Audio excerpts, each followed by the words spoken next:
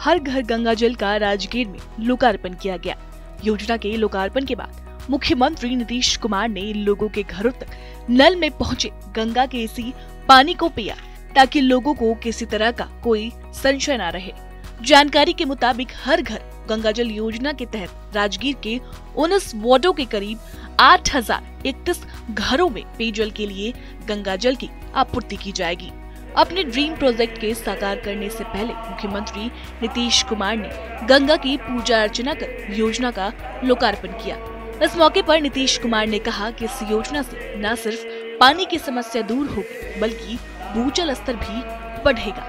इससे पूरे क्षेत्र में पानी संकट से निजात मिलेगी। इसके अलावा होटल और स्टेडियम सहित अन्य संस्थानों में भी पानी की आपूर्ति की जा रही है। अब आप सोच लीजिए कि एक घर में कितना मिलेगा गंगा तो नहाना हो पीना हो सब्ज़ी ये क्या कहते हैं खाना खाना बनाना हो पूजा करना पूजा करना हो आपको पूरा का पूरा साफ़ सफ़ाई करना हो किसी भी काम के लिए कोई दूसरे पानी का उसको इतना पानी तो आप सोच लीजिए कि कितना अच्छा हो। यही आज यहाँ आप कल वही दोनों जगह करेंगे और यहाँ कुछ जगह घूमने भी हम जाएँगे। पचास पहुँच गया है तो देखेंगे। पचास साल में रखकर चलिए बिल्कुल लंबा विजन है बड़ा विजन दो हज़ार पचास से इक्यावन का आपने सोच रखा है।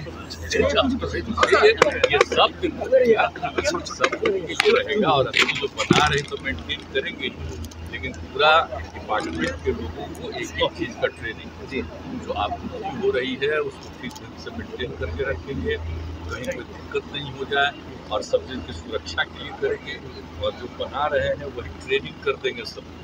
और उससे हम अनुरोध किए हैं उसके आए हुए। उन्होंने कह दिया है कि आगे भी आप करिएगा। कुछ काम करने वाले लोगों से भी हम बात कर रहे थे बोल रहे थे कि नीतीश जी की गाइडलाइंस हमेशा मिलती रही है और उस हिसाब से काम कर दो हज़ार उन्नीस में कैबिनेट की बैठक हुई और बड़ी जल्दी कुछ बाधाएँ भी आई। बता दिए हाँ, थे वो चीज़- कहाँ से पानी लेंगे हम्म। ये लोग कह रहे थे कहाँ कहाँ से। हाँ, हाँ, हाँ। हमने बता दिया था कि आपको वहीं से दस से।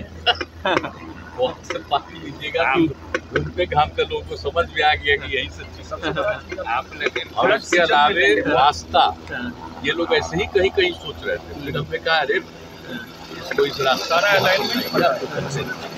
और यहीं पर आएगा मेन जिसका एक हिस्सा जाएगा राजगीर और एक हिस्सा जाएगा गया गया और एक हिस्सा जाएगा वहाँ पे सीधे आएगा यहाँ पर यहाँ से फिर तीन जगहों पर पानी तो अब तो तीन जगह के लिए हो ही गया। वहाँ पर भी हम कह रहे थे लोग ऐसे ही पहले कह रहे थे कि यही वाला पनिया सीधे वहाँ में ना दिक्कत होगी। इसलिए आप वहाँ भी इसी तरह से बनवा दीजिए ताकि हर तरह से नवादा में भी कोई दिक्कत नहीं दरअसल गंगा जलापूर्ति योजना चरणबद्ध तरीके से बिहार के नालंदा गया और नवादा ज़िले में साढ़े सात लाख लोगों की प्यास बुझाने का काम करेगी।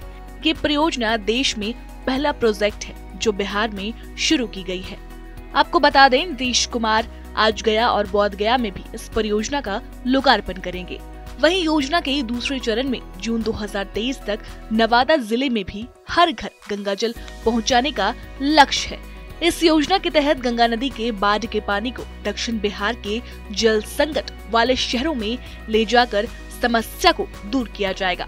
बहरहाल, जल संकट को देखते हुए गंगा जल आपूर्ति योजना रामबान साबित होगी। गंगा जल से लोगों को जल की आपूर्ति की जाएगी तो जल की समस्या भी दूर हो जाएगी। भूगर्भ का भी जल स्तर बरकरार रहेगा। जलवायु परिवर्तन के कारण नवादा, नालंदा, गया ज़िले में लगातार जल स्तर में गिरावट आ रही है। सुखाड़ और बाढ़ की त्रासदी का दंश भी झेलना पड़ता है। लेकिन अब लोगों को इससे निजात मिलेगा और लोगों को बराबर से साफ़ पानी मिल पाएगा।